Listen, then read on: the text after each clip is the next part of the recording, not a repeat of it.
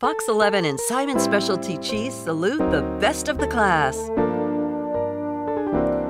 It's time for autographs, a cap and gown, the graduation fun. A time for standing proud with all the honors that you've won. You're the best of the class this year. The best of the class 2024.